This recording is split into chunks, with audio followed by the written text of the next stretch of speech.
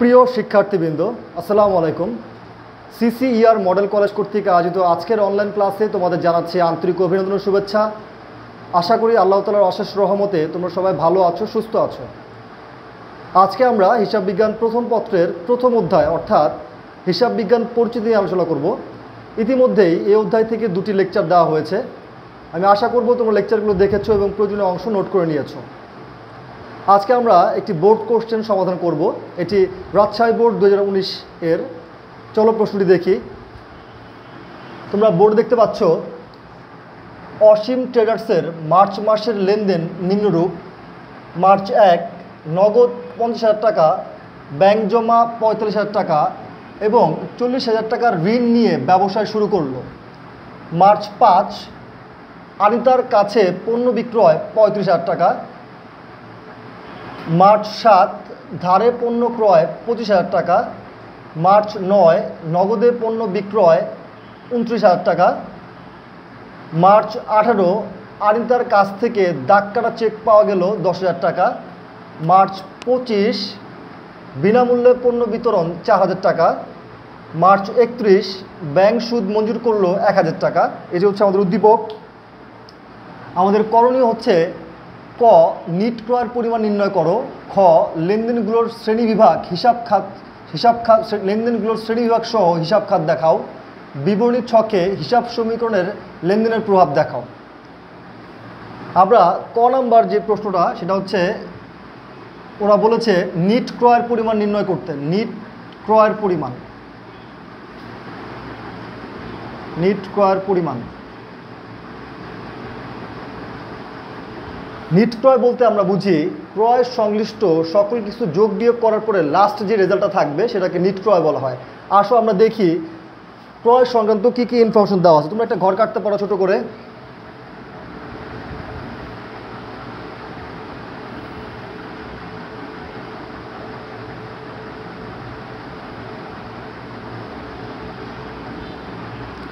তারিখ, বিবরণ। টাকা। টাকা। ক্রয় সংক্রান্ত ইনফরমেশনগুলো আমরা দেখি। তোমরা দেখতে পাচ্ছ, সাত তারিখে মার্চ সাতে ধারে পণ্য ক্রয় পঁচিশ হাজার টাকা, এটা মার্চ সাত। ধারে পণ্য ক্রয়। কত টাকা? পঁচিশ হাজার টাকা। আর তোমরা দেখতে পাচ্ছ, পঁচিশ তারিখে বিনামূল্যে পণ্য বিতরণ চার হাজার টাকা। বিনামূল্যে পণ্য বিতরণ যাওয়া উঠেছে হচ্ছে এরকম বিজ্ঞাপন, ডেবিট আর হচ্ছে ক্রয় ক্রেডিট। এটা হচ্ছে বিনামূল্যে পণ্য বিতরণের জাবেদা। যেহেতু এখানে ক্রয় ক্রেডিট হয়েছে, এই জন্য আমরা এখান থেকে বাদ দিব। এটা কত মার্চ পঁচিশ। বিনামূল্যে পণ্য বিতরণ। বিনামূল্যে পণ্য বিতরণ। কত টাকা? চার হাজার টাকা। এটা বাদ দিলাম, বাদ দিলে থাকে একুশ হাজার টাকা। এটাই হচ্ছে আমাদের নিট ক্রয়ের পরিমাণ। আশা করি তোমরা বুঝতে পেরেছ। পরবর্তী প্রশ্নটি, পরবর্তী যে প্রশ্নটি চেয়েছে সেটি হচ্ছে,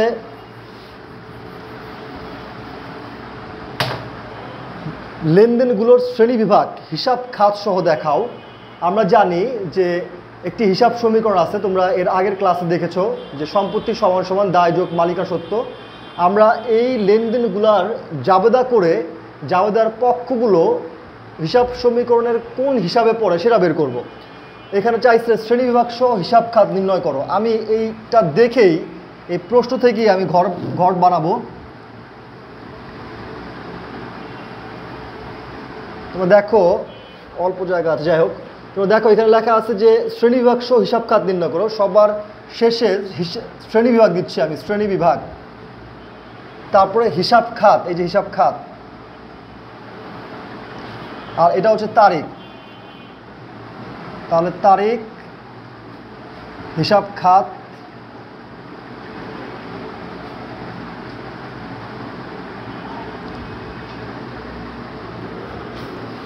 আর শ্রেণি বিভাগ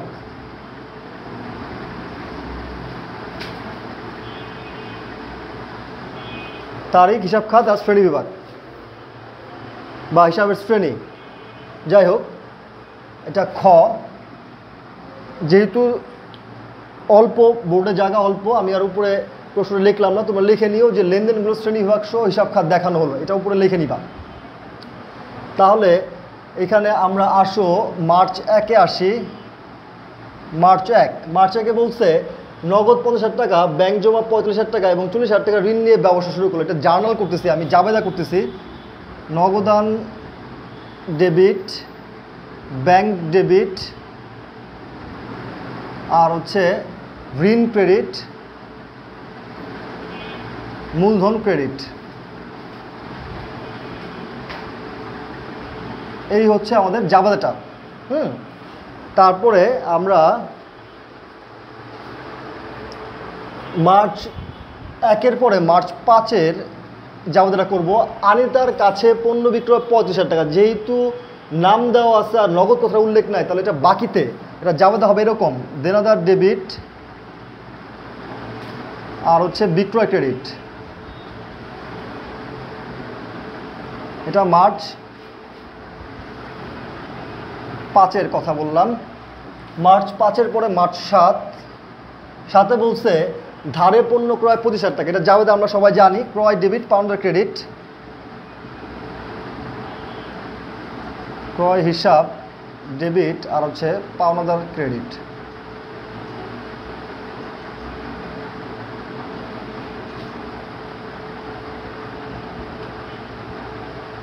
আচ্ছা মার্চ সাতের পরে আছে নয়। নয়। নয় বলছে, নগদে পণ্য বিক্রয় উনত্রিশ হাজার টাকা। নগদে পণ্য বিক্রয় যাবত আমরা সবাই জানি, নগদান ডেবিট, নগদান হিসাব ডেবিট আর হচ্ছে বিক্রয় হিসাব ক্রেডিট। এটা হচ্ছে মার্চ নয়ের জাবেদা। মার্চ আঠারোতে বলছে, আনিতার কাছ থেকে দাগ কাটা চেক পাওয়া গেল। দাগ কাটা চেক আর চেকটা একই রকম। এটা কত? মার্চ আঠারো। এটা জাবেদা হবে ব্যাংক ডেবিট দেনদার ক্রেডিট ব্যাংক ডেবিট ব্যাংক হিসাব ডেবিট আর হচ্ছে দেনাদার ক্রেডিট আচ্ছা। তারপরে পঁচিশ। হ্যাঁ আমি পঁচিশটা পঁচিশটা এখানে দেখা যায় কি না পঁচিশ। বাবু, এটা পঁচিশটা দেখা যায় কিনা এখানে? দেখো তো একটু।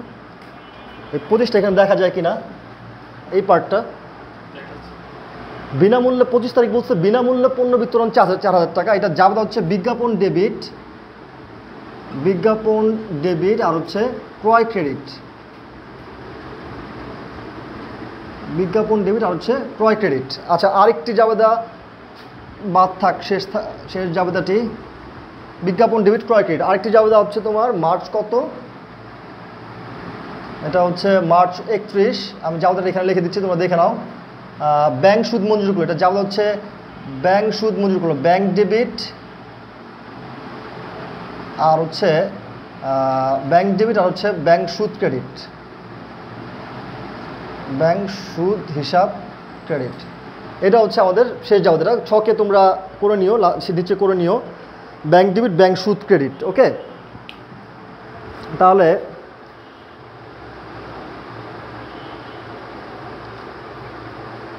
আমরা নর্মালি এই লেনদেনগুলোর জাবেদা করলাম। হ্যাঁ এখন আমরা শ্রেণীবিভাগ দেখব শ্রেণীবিভাগ বলতে আমরা জানি এই যে এ সমান সমান এল যোগ ওই যে সমীকরণটা আছে, সেই সমীকরণটা আমরা সমীকরণ থেকে এই পক্ষগুলো কোন কোন হিসাবে পড়বে সেটা আমরা বের করব। আর তোমরা জানো যে এই ওইর মধ্যে, এই ওইর মধ্যে চারটা জিনিস থাকে তোমরা জানো হ্যাঁ?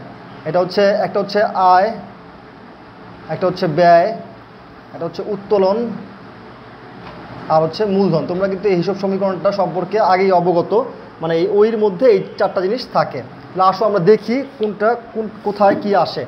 নগদান, এটা কিন্তু সম্পত্তি। সম্পদ, আমরা লিখলাম এখানে সম্পদ। সম্পদ, ব্যাংক, এটাও সম্পদ। ঋণ ঋণ কিন্তু দায়, তাই না? লিখলাম দায়। তারপরে মূলধন, মূলধনটা কিন্তু মালিকার সত্যের মধ্যে চলে যায়, মালিকানা সত্য। মালিকানা সত্য। মালিকানা সত্য, ওকে? তারপরে আসছে হচ্ছে দেনাদার। দেনাদার মানে হচ্ছে কারও কাছে আমরা টাকা পাই, এটাও কিন্তু আমাদের সম্পত্তি, সম্পদ। তারপর আছে বিক্রয়। বিক্রয়টা কিন্তু আয়। বিক্রয় করলে কিন্তু আয় হয়, এটা আয়। তারপর আছে ক্রয়। ক্রয় করলে কিন্তু ব্যয় হয়, এটা আমরা জানি, ব্যয়। তারপর আছে পাওনাদার। পাওনাদার মানে হচ্ছে আমরা কারও কাছে আমাদের কাছে একটু টাকা পাই এটা আমাদের দায়। নগদান, এটা সম্পদ, আমরা জানি। বিক্রয়, একটা আয়। ব্যাংক, এটাও সম্পদ, আমরা জানি। দেনাদার, এটাও সম্পদ, আমরা জানি। বিজ্ঞাপন, ব্যয়, লিখলাম ব্যয়। ক্রয়, এটাও ব্যয়, আমরা জানি। ব্যয়, ওকে। আর এখানে আছে ব্যাংক ব্যাংক সম্পদ, আমরা জানি। এটা সম্পদ। আর ব্যাংক সুদ ব্যাংক সুদ আমাকে দিছে, এটা আমার জন্য আয়। হ্যাঁ তোমরা এটা ছকে ছকের নিচে লিখে নিবা। আর এখানে লিখে নিবা লেনদেনগুলোর শ্রেণি বিভাগ হিসাব সহ দেখানো হলো। এখানে আমি লিখে দিচ্ছি লেনদেনগুলোর শ্রেণীবিভাগ দেখানো হলো। শ্রেণীবিভাগ।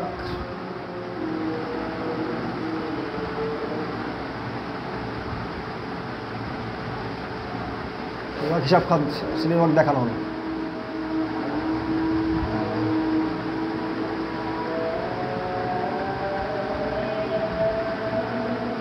এই ওকে আমি আশা করি তোমরা বুঝতে পেরেছ। তারপরেও যদি কোনো প্রবলেম থাকে গ্রুপে মেসেজ করবা। ওকে এটা মুসলাম।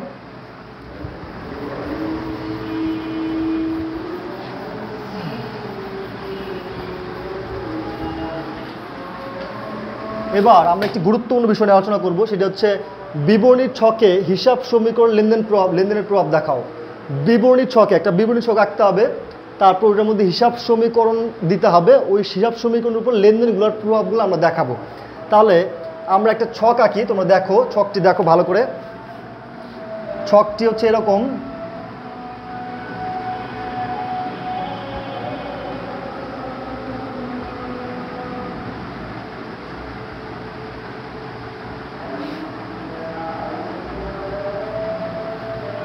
এটা ছক। কীভাবে ছকটি আমরা মনে রাখব? হ্যাঁ এটা একটু ছোট, এই পাশে একটু ই করতে হবে।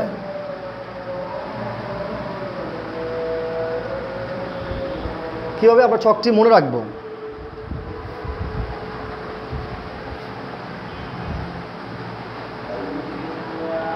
সবার প্রথমে একটা তারিখ দিব আমরা। সবার প্রথমে একটা তারিখ, এই যে তারিখ দিলাম।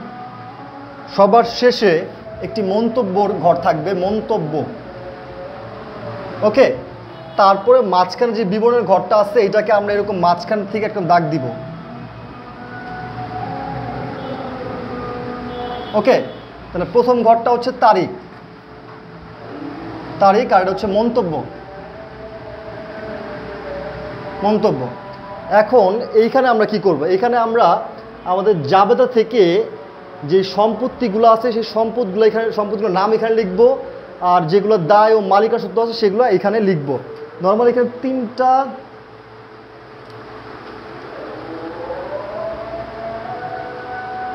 আচ্ছা এখানে তিনটা আর হচ্ছে তিনটা, ছয়টা ঘর হলেই হবে। তাহলে আমরা এইখানে একটা ঘর দিই। যে এইখানে একটা সমান সমান চিহ্ন দিলাম। ঠিক আছে? এখানে সমান সমান চিহ্ন দিলাম। এটা হচ্ছে সমান সমান চিহ্ন। আর এই ঘরটার মধ্যে কি কি বসবে? এখানে বসবে সম্পদ সমান সমান দায় যোগ মালিকানা সত্য।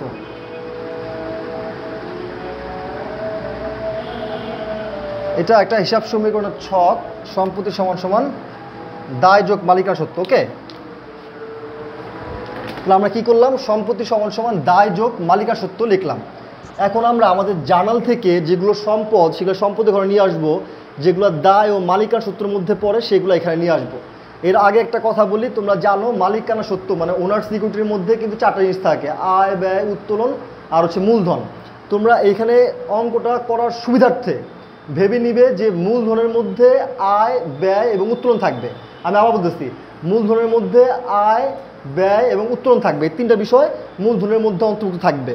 তাহলে আসো, আমরা দেখি। প্রথম যে লেনদেনটা, সেখানে আছে নগদ পঞ্চাশ হাজার টাকা এবং ব্যাংক জমা পঁয়ত্রিশ হাজার টাকা এবং ঋণ চল্লিশ হাজার টাকা। তাহলে আমরা দুটো সম্পত্তি পাইছি, একটা হচ্ছে নগদ, আর একটা হচ্ছে ব্যাংক। হ্যাঁ? তারপর আট জিনিস পাইছি এটা হচ্ছে ঋণ। ঋণটা আমি এখানে লিখলাম, ঋণ। আট জিনিস পাইছি, এটা কিন্তু মূলধন একটা ব্যাপার ছিল। তাহলে এখানে আমি একটা মূলধন লিখলাম। মূলধন, ওকে? আচ্ছা তারপরে যে জাবেদাটা আছে আমাদের কাছ থেকে পণ্য বিক্রয় পঁয়ত্রিশ হাজার। জাবেদা ছিল দেনাদার ডেবিট বিক্রয় ক্রেডিট। দেনাদার কিন্তু আমাদের লাগবে। আমি এখানে দেনাদার লিখলাম, দেনাদার। হ্যাঁ আর বিক্রয়টা কিন্তু আয়। আয়টা কিন্তু মূলধনের মধ্যে যাবে। আচ্ছা তাহলে তারপরে যে ধারে পণ্য ক্রয়, এটা যাবে হচ্ছে ক্রয় ডেবিট পাউন্ডার ক্রেডিট। তাহলে ক্রয় কিন্তু আমরা জানি যে মূলধনের মধ্যে থাকবে, এটা ব্যয়। আর লাগবে পাওনাদার। পাওনাদারটা আমি এখানে লিখলাম, পাওনাদার। তারপর যে লেনদেনটা, সেখানে লেখা আছে নগদে পণ্য বিক্রয়। যাবে হবে নগদান ডেবিট, বিক্রয় ক্রেডিট। নগদও আছে, আর হচ্ছে বিক্রয়টা মূলধনে যাবে। তারপর যাবে আনন্দের কাছ থেকে দাগ কাটা চেক পাওয়া গেল। যাবে হচ্ছে ব্যাংক ডেবিট দেনার ক্রেডিট ব্যাংকও আছে, দেনদ্রও আছে। বিনামূল্যে পণ্য বিতরণ। এটা যাবে হচ্ছে বিজ্ঞাপন ডেবিট আর ক্রয় ক্রেডিট বিজ্ঞাপনটা একটা ব্যয় মূলধনে যাবে, ক্রয় একটা ব্যয় এটাও মূলধনের মধ্যে যাবে। তারপরে ব্যাংক সুদ মঞ্জুর করল। যাবে হচ্ছে ব্যাংক ডেবিট ব্যাংক সুদ ক্রেডিট ব্যাংকে একটা সম্পত্তি লেখা আছে, আর ব্যাংক সুদের আয়, এটা মূলধনে যাবে। তার মানে আর কোনো সম্পত্তির দায়, মালিকানা সত্য আমাদের মধ্যে নাই। তাহলে আমি এখন দাগ দিচ্ছি।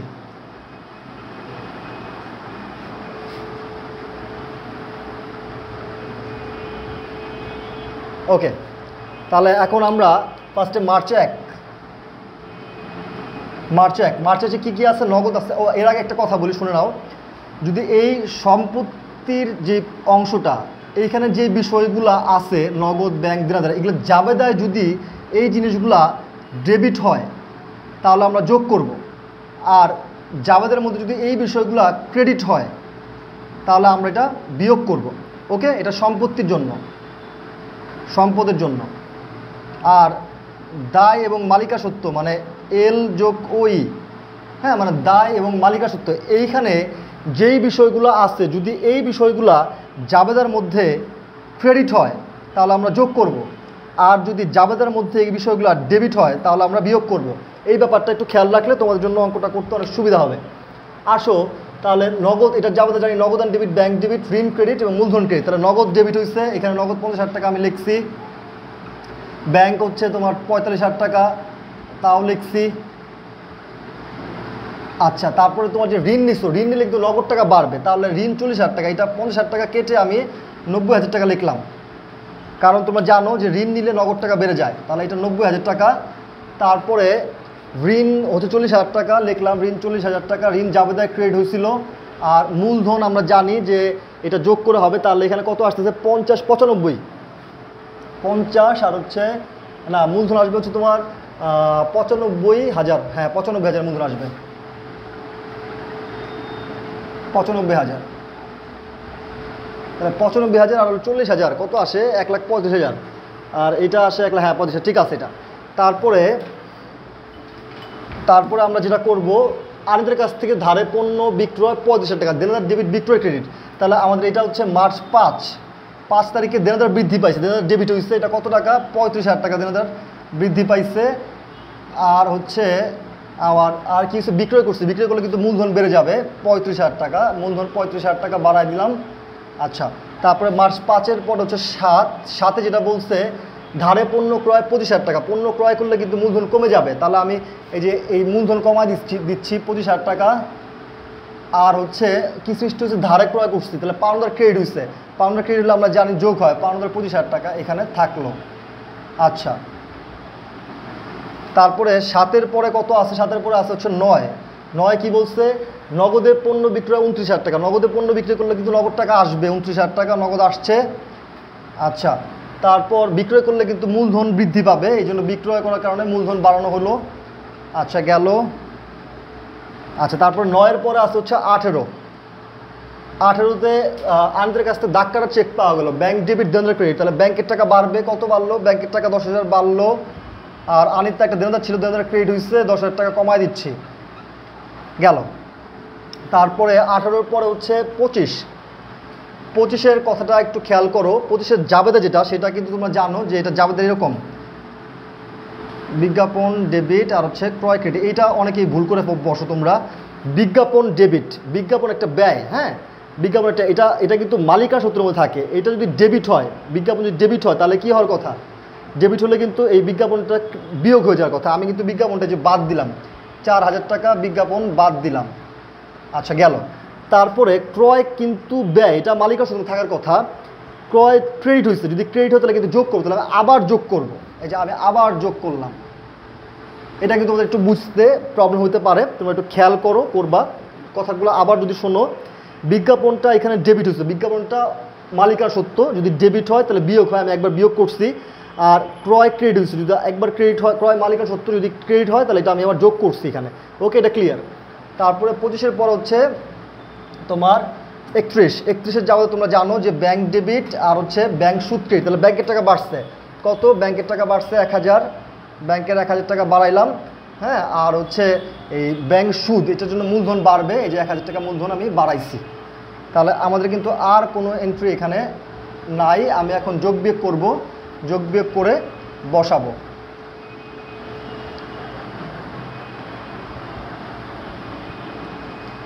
ওকে। লাস্ট যোগ বিয়োগটা দেখি, কত আসে? তো যোগ বিয়োগ করলে এখানে চলে আসবে হচ্ছে তোমার এক লাখ উনিশ হাজার, এটা আসবে। হ্যাঁ এটা আসবে এক লাখ উনিশ হাজার। এক লাখ উনিশ হাজার। এটা চলে আসবে পঞ্চান্ন ছাপ্পান্ন হাজার। হ্যাঁ পঞ্চান্ন ছাপ্পান্ন হাজার, এটা চলে আসবে পঁচিশ হাজার। আচ্ছা তাহলে এটা পঁচিশ হাজার যোগ ছাপ্পান্ন হাজার যোগ এক লাখ উনিশ হাজার, এটা চলে আসবে দুই লাখ, এই পাঁচটা দুই লাখ। দুই লাখ, এই পাশে যোগ করলে হচ্ছে দুই লাখ। হ্যাঁ তারপরে এই পাশে হচ্ছে চল্লিশ হাজার এখানে থাকবে। চল্লিশ হাজার এখানে পঁচিশ হাজার থাকবে। আর এইখানে আহ, এক লাখ তিরিশ এক লাখ তিরিশ আর হচ্ছে এক লাখ এক লাখ ত্রিশ আর হচ্ছে পাঁচ এক লাখ পঁয়ত্রিশ মেবি এক লাখ পঁয়ত্রিশ হাজার পঁচিশ হাজার আর হচ্ছে চল্লিশ হাজার। এক লাখ পঁয়ত্রিশ হাজার থাকবে পাশে। এটা এক লাখ পঁয়ত্রিশ হাজার। পঁয়ত্রিশ আর পঁচিশ হলো তোমার চল্লিশ আর হলো ষাট আর দুই লাখ। তাহলে এটা দুই লাখ লক্ষ টাকা। সবচেয়ে মজার বিষয় কি জানো? সবচেয়ে মজার বিষয় হচ্ছে, তোমরা বোর্ড পরীক্ষা অঙ্কটা দেখা বুঝ- বুঝ- বুঝতে পারবা যে এই অঙ্কটা মিলছে। যে দেখো, এখানে দুই লাখ, এখানে দুই লাখ, দুই পাশ সমান হয়ে যাবে। এখানে সমান সমান চিহ্ন দিতে পারবা। এখানে সমান সমান চিহ্ন দিতে পারবা। ঠিক আছে? আমি আশা করি তোমরা বুঝতে পেরেছ। তারপরে যদি কোনো প্রয়োজন মনে হয় বা কোনো প্রবলেম থাকে, তাহলে গ্রুপে মেসেজ করবা। সরাসরি মেসেঞ্জারে কল দিয়েও তোমরা জানতে পারবা তোমাদের প্রবলেমগুলো ঠিক আছে? সবাই ভালো থাকো, আল্লাহ হাফেজ।